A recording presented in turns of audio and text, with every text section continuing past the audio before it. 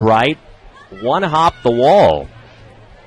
As Fargas now bats with the infield in, and he hammers one down the left field line, heading way back and gone. A line drive, home run down the left field line for Johneshwy Fargas. A three run shot makes it a five run inning for the Giants.